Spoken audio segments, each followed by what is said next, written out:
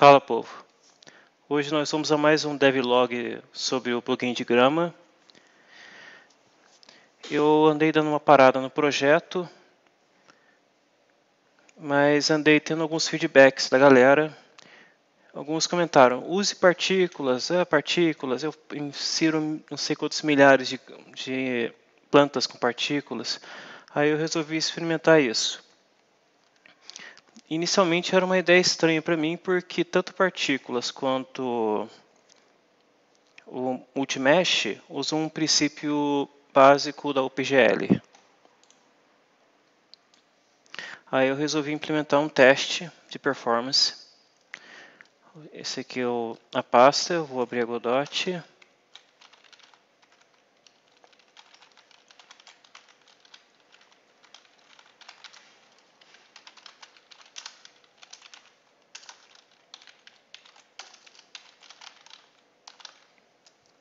Eu vou abrir sem a IDE de desenvolvimento para garantir que o peso da aplicação seja sempre o mesmo.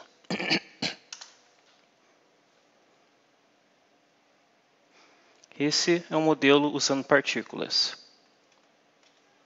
Temos aqui o nosso FPS, para poder ter uma visão da performance.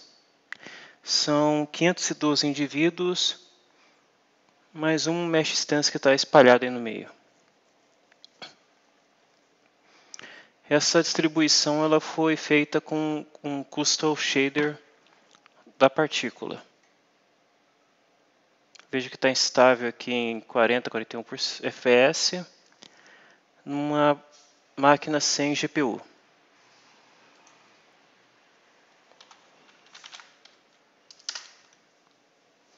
Agora eu vou abrir aqui o projeto e vou trocar a cena principal para a cena que usa o multimesh.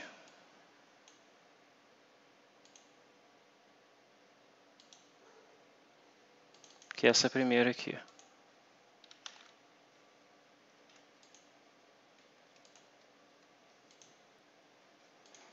Vou executar de novo.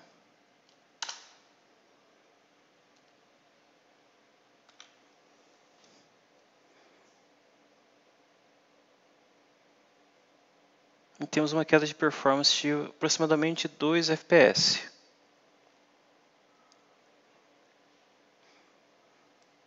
Isso aqui é o multimesh instância. Agora,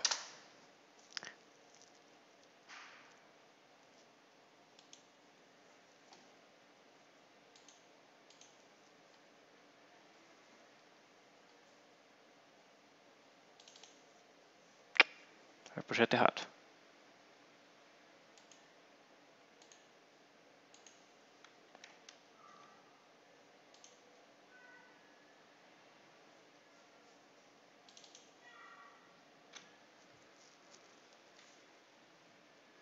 Agora a questão. O blend das folhas, usando o Multimesh Stance, está bem mais complexo Isso porque eu consegui um resultado aleatório muito mais fácil usando o Multimesh Instance. Então vou levar isso em consideração para fazer minha avaliação.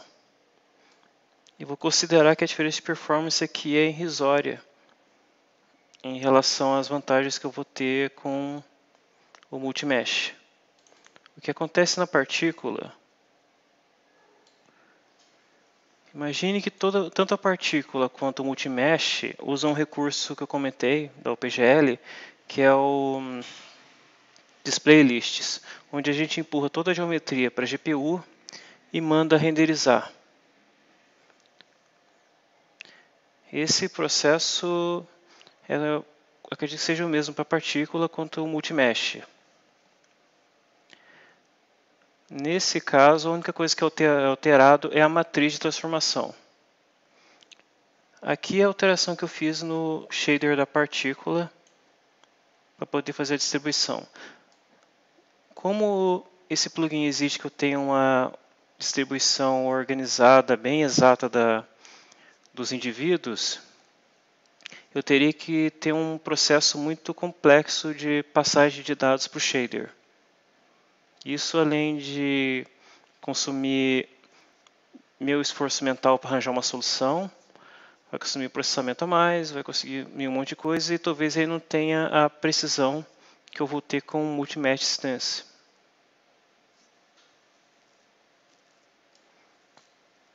Sendo que o multimesh instance já é um processo mais simples de trabalhar no momento, onde eu informo as coordenadas de uma forma mais simples e com certeza vai ser precisa. Por enquanto o plugin permanece um pouco congelado, que eu andei precisando pegar uns projetos extras para completar o orçamento caseiro. Então o tempo livre acabou e ainda tem aquela questão que no GD Native não está inserido ainda completamente a, o port da bullet. Então eu não consigo fazer uma carry no, na cena para descobrir em qual posição pra, eu devo plantar a planta para ela localizar a colisão com o solo. Eu só partilhei mesmo isso para tirar essa dúvida entre performance de partículas e de multimesh. É isso e até a próxima.